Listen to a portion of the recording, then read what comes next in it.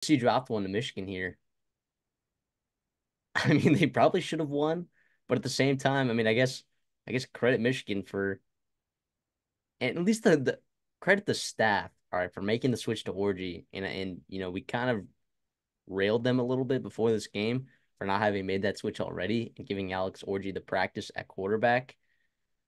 Um, in the games where like you probably could have afforded to do that, but the game plan here was just run the ball, and you have probably one of the best running backs in the entire country. Definitely in the not Donovan of, Edwards, by the way. It is Kalel Mullings. Yeah, thank you is. very much. And how I think weeks? everyone figured that out. That has been the case, right, all year, and and he was he was better last year. I thought in his limited sample size. Yeah, I agree. And we've been saying that we've been pounding the table for that for a while now. So, so yeah, I mean, they only threw the ball 12 times. I don't know how many times they dropped back and how many times Alex Orji scrambled, but definitely see. Uh, sure, they turned the ball over a couple times. Honestly, I mean, USC should have won this game, but I'm still going to credit Michigan for finding a way defensively, right, to manufacture some points that way, and then stick to the run game, you know, and, and keep this, um, keep the number of plays run in this game at a limited number. And I think USC still had close to 70 plays run on offense, which is, I don't know, pretty pretty average to be honest. But yeah, Michigan, I, I guess credit to them finding a way to win. I don't know what your thoughts on this game. We both picked USC to win and cover, by the way. And that did not that was one of our two losses ATS this week. Yeah, listen, I, I think you're absolutely right in terms of what they did with Orji to credit the staff. I was kind of calling here last week and like not hitting the panic button yet on the staff and Sherrone Moore, but you there's a glaring ignorance right now in terms of how you are handling the offensive philosophy on the side of that, that ball.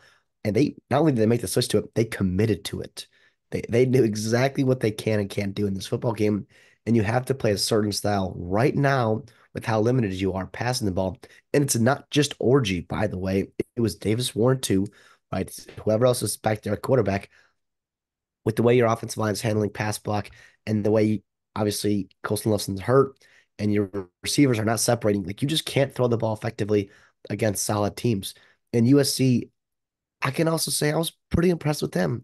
Like the way they got up off the mat after, you know, kind of demoralizing first half and they boom, boom, boom.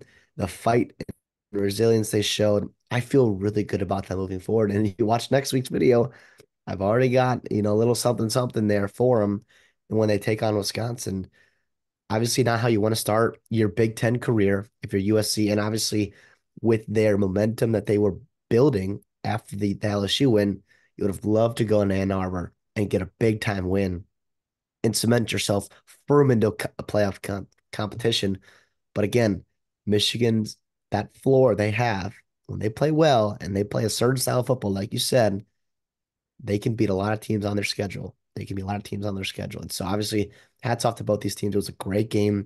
That fourth quarter was awesome. That run by Mullings was awesome.